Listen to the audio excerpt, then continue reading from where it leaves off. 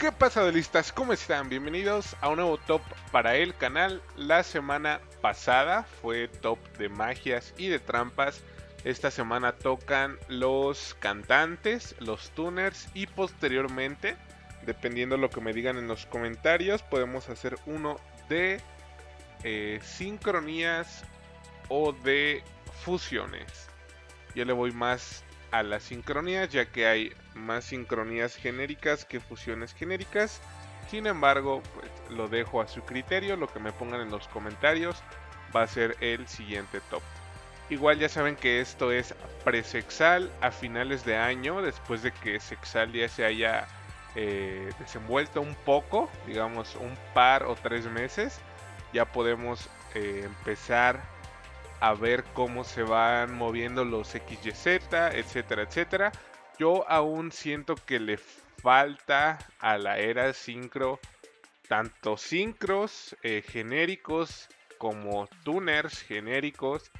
Entonces, como ya dije, hoy tocan los tuners. Quiero que me dejen en los comentarios también qué otro cantante les gustaría ver en el juego que no ha salido y que eh, les gustaría ver, ya sea porque es un cantante genérico como los que vamos a ver el día de hoy o porque le ayudaría a un deck y lo volvería extremadamente poderoso o al menos en la mira del competitivo. Entonces vamos a empezar el top con un eh, cantante que yo siento que es un poco infravalorado, sobre todo porque Todavía no tenemos cartas como One for One.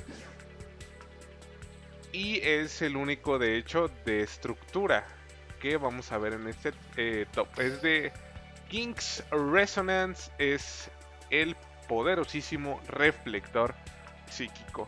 Posición número 7 de este monstruo que es eh, de atributo oscuridad tipo psíquico. Es un cantante y su efecto nos dice que si esta carta es invocada de modo normal o especial, puedes añadir a tu mano un activar modo de ataque o una carta en tu deck que liste específicamente a activar modo de ataque en su texto, excepto el mismo. Puedes mostrar un activar modo de ataque en tu mano, o sea, esta carta. Y después selecciona muestra en tu cementerio que liste específicamente a activar modo de ataque invócalo de modo especial y si lo haces aumenta su nivel 1 eh, o 4. Es decir, este vato ya es de nivel 4, le podemos eh, aumentar 1 o 4 niveles para que se ponga hasta de nivel 8. Con el eh, reflector psíquico podemos hacer un Dragon Mesh for Million. Si lo hacemos de nivel 8, un dragón de chatarra. De nivel 7, Black Rose. De nivel 6, Brionac. De nivel 5, Armades. Así, etcétera, etcétera. Hay más cartas, de hecho, al, a los activar modo de ataque les queda bastante soporte. Tal vez en un futuro haga un video sobre eso. Pero yo creo que, como les digo, este cantante está bastante infravalorado. Yo creo que por el hecho de que está en una estructura que no es ni muy buena ni buena. Está como en el limbo, así como que me no es la peor estructura, pero tampoco no es ni mucho menos el top 3 o el top 5 de estructuras. Así que el reflector psíquico se lleva la posición número 7.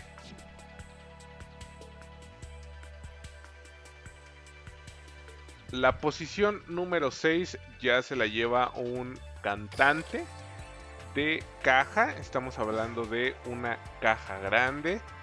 Una caja no tan vieja. Vamos a ver si carga esto. Hablo de Cybernetic Rebellion. Esta caja que nos eh, que está con nosotros desde el 11 de julio del año pasado, de 2019. El cantante de aquí es Diva del Océano Profundo. Es una carta de nivel 2 de tipo serpiente marina y de atributo agua. Su efecto nos dice que cuando es invocada de modo normal puedes invocar de modo especial desde tu deck un monstruo de tipo serpiente marina de nivel 3 o menor. Esta carta se incluye en esos monstruos de tipo serpiente marina de nivel 3 o menor. Por lo cual puedes empezar muchas jugadas pues bastante poderosas. Un ejemplo eh, de jugadas que hay en Duel Links es eh, Larva de la Niebla, que te pide dos cantantes y un no cantante. O el Cristron, que viene aquí en esta misma caja. Eh, este, que te pide dos cantantes y uno monstruo que no sea cantante. La larva, no estoy muy seguro, que yo recuerdo te pide lo mismo, pero tal vez me esté equivocando. Por ejemplo, hay decks que se basan en invocar a esto con eh, la diva del océano profundo y activas la habilidad de los hermanos de paradoja, constructor de laberinto, que ya te da un monstruo de nivel 5, más dos de esta y dos de la que te vas a, traer desde el deck. Ya haces a tu eh, Crystron de nivel 9 y activas el efecto. Este Crystron pues genera bastante disrupción al rival.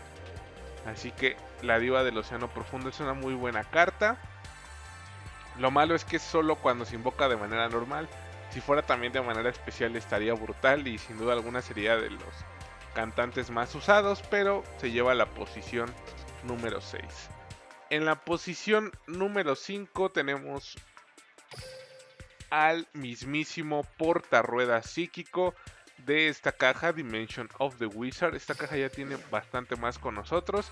Es de el 11 de marzo, ya lleva un año y medio en Duel Links. Y la carta es ultra rara. La carta nos dice que es un monstruo de atributo tierra y de nivel 3, tipo psíquico. Si controlas un monstruo de nivel 3 que no sea portarrueda psíquico, puedes invocar esta carta de modo especial desde tu mano. En posición de defensa, solo puedes invocar de modo especial a portarrueda psíquico una vez por turno de esta forma. Si esta carta es mandada al cementerio como material de sincronía, puedes seleccionar un monstruo en el campo con un ataque menor al del monstruo de sincronía que se usó eh, que usó esta carta como material, perdón, destruyelo. Solo puedes usar este efecto una vez por turno. Es decir, no solo tiene el efecto de que se invoca de manera especial si controlamos un monstruo de nivel 3, sino es que además si el monstruo de sincronía que invocamos eh, tiene un ataque bastante poderoso como 3000 o 2800 vamos a poder destruir un monstruo en el campo con esa cantidad eh, con un punto menos por decirlo de alguna forma de ataque al monstruo que invocamos por sincronía aquí nos dice puedes seleccionar un monstruo en el campo con un ataque menor es decir si sacamos un 2800 vamos a poder destruir un 2700, un 2750. Mientras tenga menos que 2800 lo vamos a poder destruir. Entonces los dos efectos son bastante buenos. Es una special prácticamente gratis. La vas a meter obviamente donde juegues monstruos de nivel 3. Hay decks específicos del portarrueda psíquico Incluso al ser psíquico te facilita algunas invocaciones que te piden cantantes psíquicos. Y aprovechando que estamos en esta caja, hay un deck con el castillo dorado de Stromberg, si quieren lo puedo traer al canal. Que con la de, eh, carruaje de calabaza en el campo bajas a esto, haces un Brionac, limpias campo y ya después bajas al gran Maju que se pone en, que como 4000 y algo por las cartas desterradas que tengas y listo, haces OTK. Así que el portarrueda psíquico se lleva la posición número 5. Posición número 4 y tenemos que subir un poco. Este cantante la verdad es que ha perdido eh, protagonismo. Está en eh, Curse of Dread. Eh, salió el 12 de agosto del año pasado. Tiene un año, un mes con nosotros más o menos. Es el zombie esparza plaga que nos dice que si esta carta está en tu cementerio puedes poner en la parte superior del deck una carta en tu mano, invoca esta carta de modo especial, pero destiérrala cuando deje el campo. Entonces lo bueno de esta carta es que si la tienes en la mano, haces normal, la utilizas y si la quieres volver a usar, regresas una carta de tu mano a tu deck y la pones esta carta en el cementerio, bueno, se invoca de manera especial y ya puedes volver a hacer otro sincro. Entonces, está muy bien. aparte es de oscuridad para los decks como Caos, con el Levionero o en su momento los Thunder Dragon, pues va, va perfecto. Nivel 2, muchas veces un nivel 1 te puede quedar corto, pero con el zombie plaga de nivel 2 igual y puedes ir relativamente sobrado, así que posición número 4. Posición número 3, este va a ser el único cantante que no es genérico. Sin embargo, sin embargo, su uso en el juego es bastante extenso. Raiden, mano luminosa, es un monstruo eh, tipo luz, de atributo, perdón, de tipo guerrero de atributo luz, cantante que nos dice que durante tu main phase puedes mandar al cementerio las dos cartas de la parte superior de tu deck y después, si algún monstruo luminoso fue mandado al cementerio por este efecto, esta carta gana 200 hasta el final del turno del adversario y una vez por turno durante tu end phase puedes mandar al cementerio las dos cartas de la parte superior de tu deck. Lo que tiene esto, pues más que nada es que todo el motor luminoso es bastante, bastante usado y bastante abusado también. Es por eso que la carga ya se encuentra a 3. Raiden con Lumina pues pueden llegar a ser destrozos. Con Every, con Black Rose, con eh, este Michelle o Michael, etcétera, etcétera.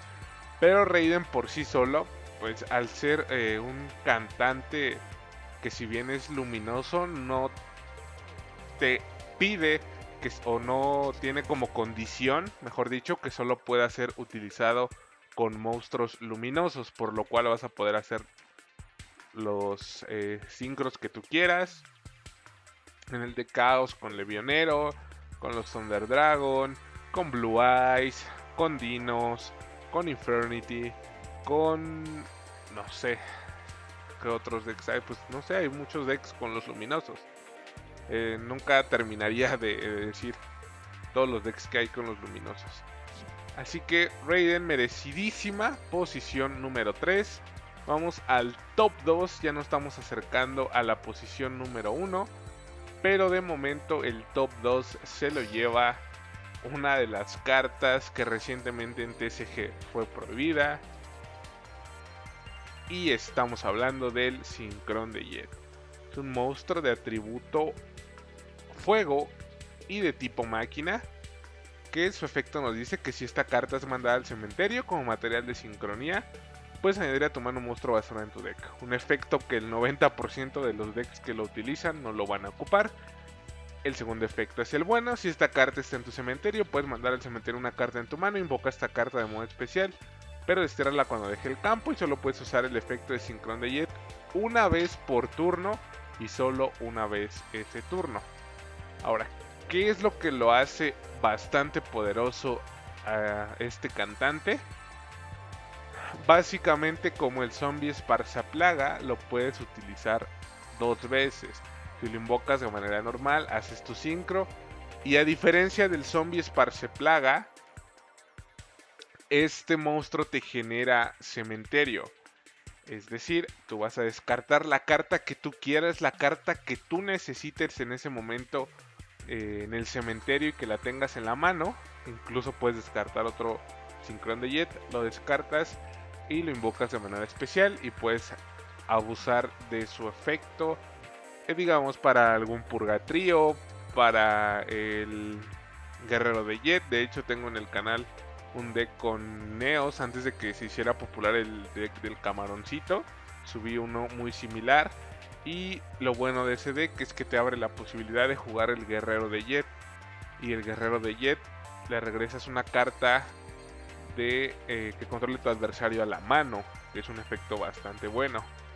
Entonces es un eh, monstruo que yo pondría en, en la lupa porque puede llegar a tener bastante potencial a futuro. Ahorita ya lo tiene. Hay muchos decks que lo utilizan y que abusan de su efecto pero pues en un futuro puede que todavía más y que ya no esté en la posición número 2, sino en la posición número 1. Ahora, antes de la posición número 1, vamos a algunas menciones honoríficas. La primera mención honorífica que tenemos por aquí, vamos a buscarla en el catálogo de cartas para porque hay una que no está en en cajas es la bomba negra. la verdad es un monstruo bastante bueno y sobre todo porque nos lo regalaron. Cuando esta carta es invocada de modo normal, puedes seleccionar un monstruo de oscuridad de tipo máquina de nivel 4 en tu cementerio. Invoca ese objetivo de modo especial. en posición de defensa, pero sus efectos son negados. Yo sé que es muy, muy, muy, muy específico porque te pide máquina y que sea oscuridad y que sea de nivel 4 menor, pero es de esas cartas eh, que con solo tener la bomba negra ya puedes hacer un 5. Y obviamente se juega en decks como el Desperado, como el eh, Machina Fortress, etcétera, etcétera. Creo que también en los Ciberoscuros. Entonces, pues es una buena carta, sobre todo porque nos la regalaron. Yo la estoy poniendo aquí, me parece un buen eh, cantante. No genérico, pero sí tiene un efecto bastante bueno. La segunda carta que está en mención honorífica es la poderosísima Espora que nos dice que si esta carta está en tu cementerio, puedes desterrar otro monstruo de tipo planta. Invoca esta carta de modo especial desde tu cementerio e incrementa su nivel en el nivel del monstruo desterrado. Cada jugador solo puede activar el efecto de espora una vez por duelo. Esto pues para no abusar y abusar y seguir abusando del efecto de espora. Ahora, esto es igual un poco específico porque se, eh, se utiliza con con un deck planta, te pide deck eh, monstruo planta para invocarla de manera especial, pero lo que tiene esta carta a diferencia de los otros cantantes es que, eh, bueno, también el reflector psíquico, aunque no precisamente es él con el que jugamos con los niveles, con Espora sí podemos jugar con los niveles dependiendo lo que desterremos en el cementerio. Entonces si desterramos un nivel 2, Espora es nivel 3, si desterramos un nivel 5, Espora es nivel 6. Vamos a poder tener eh, una gama de posibilidades bastante amplia, ya que podemos jugar con los niveles de espora dependiendo lo que necesitemos en ese momento. Un cantante bastante bueno y también bastante poderoso a mi parecer. Y por último vamos a mencionar al camaleón enmascarado. Venía en Selection Box, ya lo sacaron. Nos dice que no puede ser invocado de modo normal si controlas un monstruo nivel 5 o mayor. Cuando esta carta es invocada de modo normal, puedes seleccionar un monstruo con 0 de defensa en tu cementerio. Invoca ese objetivo de modo especial en posición de defensa boca arriba. Sus efectos son negados. Y durante el turno en el que activaste este efecto, no puedes invocar de modo especial a ningún otro monstruo excepto desde deck extra. Nos pide bastantes condiciones, pero el monstruo que vamos a revivir únicamente con que tenga 0 de defensa yo creo que es más que suficiente, nos da para hacer y en su momento vamos a poder abusar de sincros que nos pidan eh, cantantes de tierra. Hay algunos sincros, sobre todo el Dragontesa Naturia o algo así, que nos piden de tierra, un cantante de tierra como el Guardián Goyo, aquí está el Dragontesa Naturia, un cantante de tierra, hay varios, un cantante de tierra, un cantante de tierra. Entonces, el camaleón enmascarado se puede utilizar con bastantes monstruos, tanto genéricos como no genéricos, porque eh, el ser de tierra, pues crean o no, si le da un plus bastante poderoso. Y por último, y no menos importante, ya casi se me olvida, el resonador rojo. Esta carta pues igual no es la gran cosa. A mí me gusta su efecto, que cuando es invocada de modo normal puedes invocar de modo especial desde tu mano monstruo de nivel 4 menor. Es decir, ya nos das un monstruo de nivel 6, un Brionac, un Delfín de Laura Blanca, un Dragón de Coral, un HTS Psycho Emot, un Insectron alimentado, etcétera, etcétera. Eh, cuando esta carta es invocada de modo especial, puedes seleccionar un monstruo boca arriba en el campo, en el tuyo o en el del rival, y ganas puntos de vida tanto como el ataque de ese monstruo. Así que no se diga más, vamos a la posición número 1. Creo que ya todos saben de qué cantante estoy hablando y para los más despistados, bueno, el mejor cantante que ha existido en la historia de Duel Links hasta el día de hoy se llama Bulbo Brillante. Si esta carta está en el cementerio, puedes mandar al cementerio la carta superior de tu deck y si lo haces, invocar esta carta de modo especial. Solo puedes usar este efecto una vez por duelo. Aunque sea una vez por duelo, hay decks como el de Block Dragon que abusa de tener monstruos de tierra en el cementerio. Y como el bulbo, a diferencia de sus contrapartes como el Esparce Plaga y como el Jet Synchron no se va desterrado cuando utiliza su efecto, vamos a poder, como les digo, a abusar o a invocar algún monstruo de manera especial que nos pida remover monstruos de tipo tierra. Como el bulbo va a seguir en el cementerio, lo vamos a poder seguir utilizando.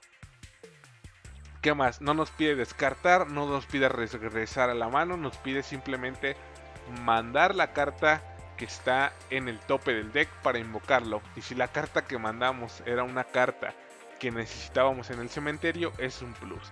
Me ha tocado con Blue Eyes, bulbo brillante, lo activa, eh, lo activo, pongo el bulbo en defensa, boto una piedra blanca de los antiguos y ya con eso eh, muchas veces ya puedo empezar a hacer mis combos, mis jugadas, o algún tocino para salvarme, un Cairo, etcétera, etcétera. Bulbo brillante, el mejor cantante del juego, sí o sí. Y bueno chicos, hasta aquí vamos a dejar el top del día de hoy. Yo espero que les haya gustado. Si es así, por favor, apoyen con su like para seguirme motivando a subir estos tops. Y sin nada más que decir por el momento, yo me despido. Nos vemos en un próximo video. Hasta la próxima.